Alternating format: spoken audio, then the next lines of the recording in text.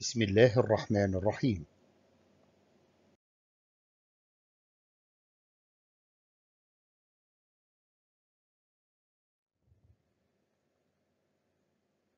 يسر قسم الرياضيات الصف السادس بمدرسة الأندلس الابتدائية الخاصة للبنين أن يقدم لكم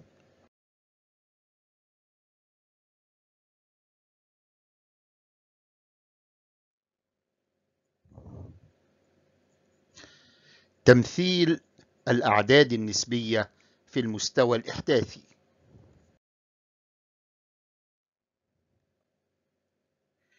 لا تنسى الإعجاب بالقناة والضغط على زر الاشتراك سبسكرايب وزر الجرس ليأتيك كل جديد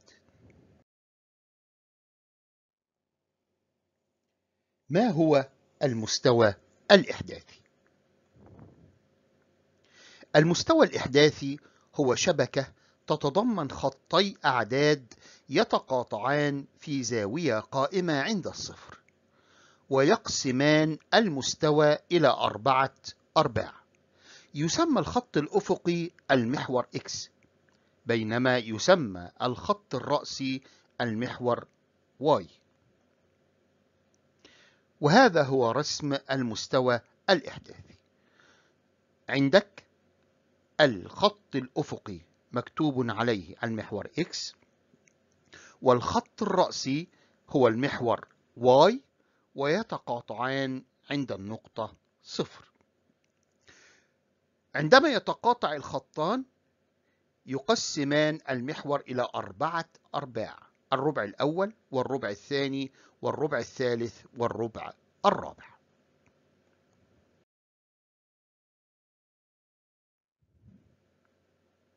مثل النقاط التالية في المستوى الإحداثي.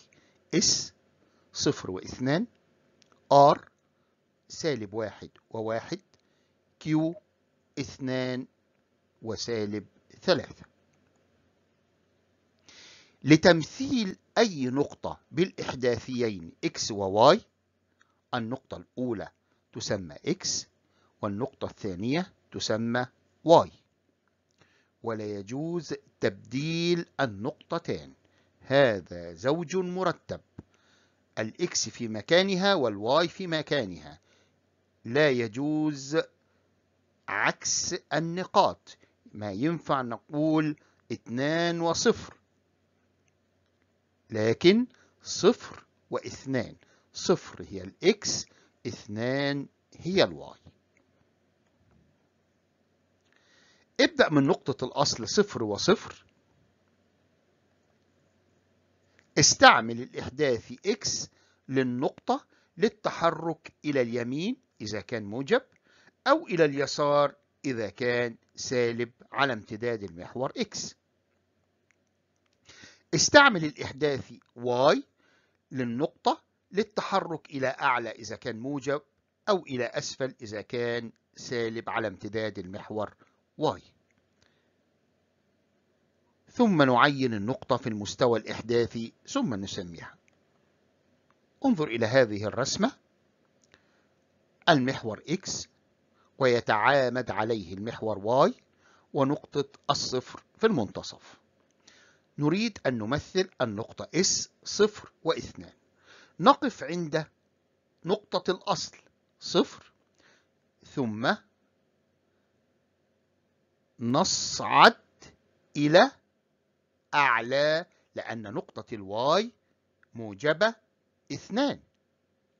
هنصعد إلى أعلى ثم نضع النقطة عند الاثنان نضع نقطة S ونكتب صفر واثنان. النقطة R سالب واحد وواحد. أولا نقف عند الصفر ونتجه إلى اليسار عند السالب واحد. ثم نصعد إلى الأعلى لأن الواي موجب. فنصعد إلى أعلى عند النقطة واحد ونضع R عند سالب واحد وواحد. النقطة Q اثنان وثلاثة. نتجه إلى أولا نقف عند نقطة الصفر ثم نتجه إلى اليمين لأن الاثنان موجبة. ثم ننزل إلى أسفل لأن ال y سالبة. ننزل إلى سالب ثلاثة ونضع النقطة Q اثنان وسالب ثلاثة.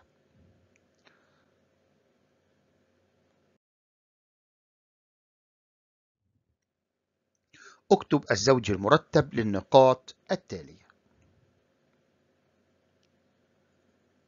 أولا نقطة B. نلاحظ أن نقطة B هي سالب خمسة على المحور X ثم صعدنا إلى أعلى عند النقطة اثنان ونصف فيكون الإحداثي هو سالب خمسة واثنان ونصف. النقطة R أولا اتجهنا إلى اليسار عند النقطة سالب خمسة ولم نتحرك إلى أعلى أو أسفل فتكون إحداثيات النقطة R هي سالب خمسة وصفر. النقطة T.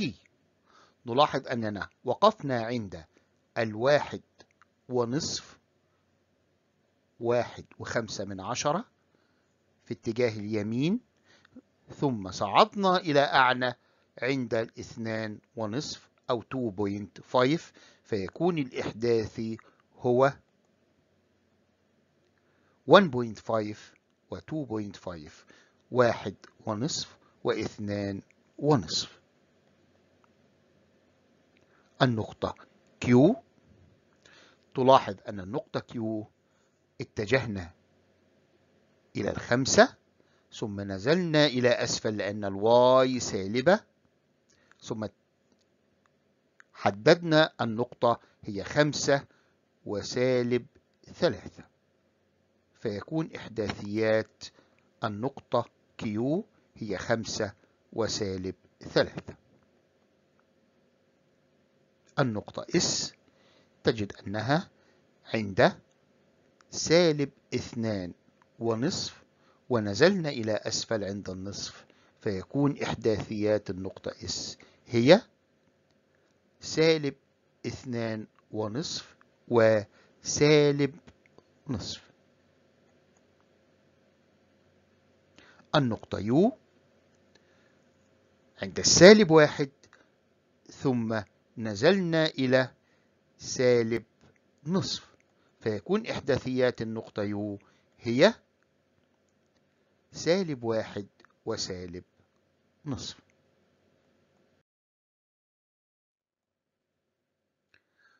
نلخص ما درسناه.